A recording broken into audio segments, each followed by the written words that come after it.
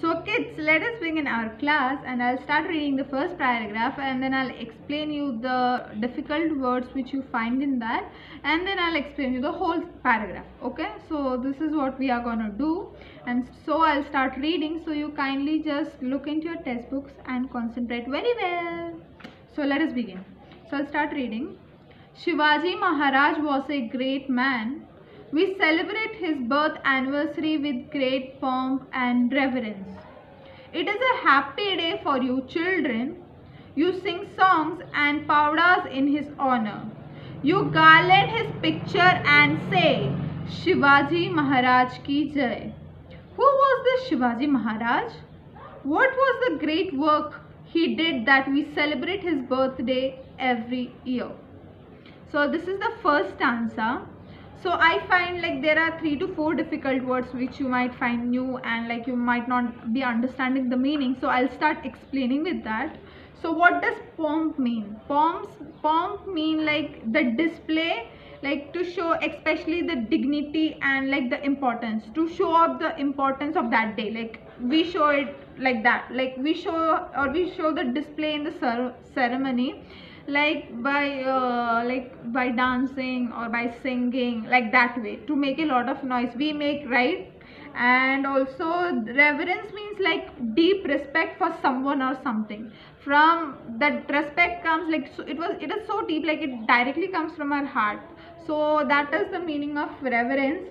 Next word i think you might not be knowing what is powder? Some of me may be knowing some powders also so what is Pauda? I'll generally explain you. Pauda is in Marathi poetry. It was emerged like it was, uh, it had begun in the 17th century and it has many historical events and it is told in, in very inspiring way. That are Paudas and garland i think garland word you might not know so what is it a wreath of flowers and leaves which are hung uh, by two in on some like uh, to celebrate something uh, it means like it can be hung or like uh, for decoration purpose we can use. Like we generally use garlands. And uh, this is the this uh, this might maybe the difficult words i think so. I'll start explaining the paragraph. So what it is told is like shivaji was a very great man as we all know.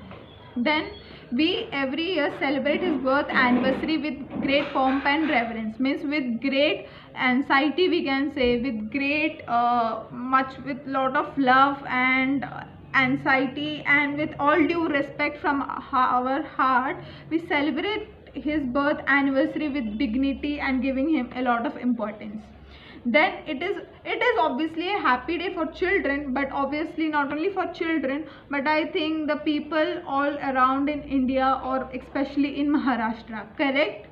Then we sing songs and paudas in his honor. Songs we sing and paudas i explained to you. It is a marathi poetry which contains historical events in that and which are which are being told in a very inspiring way okay? And then we garland his picture and say Shivaji Maharaj ki jai. So like we generally put uh, what we can tell uh, the uh, word for garland I explained you the meaning.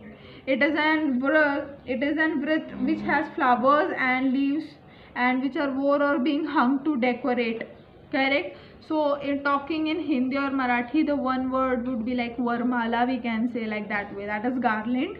So we generally put it on his pictures. You must have also seen and noticed about it.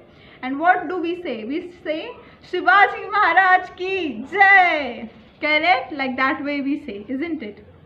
And so we we are doing this many things. Then why is it so? Like who was shivaji maharaj and what is his history? What are the great works or deeds which he has done that we are still praising him so much in this era as well? And we are still celebrating his birth birthday every year. So what is the reason behind this? We are gonna see in it in future uh, like in further paragraphs in which i'm gonna explain you. So let us see.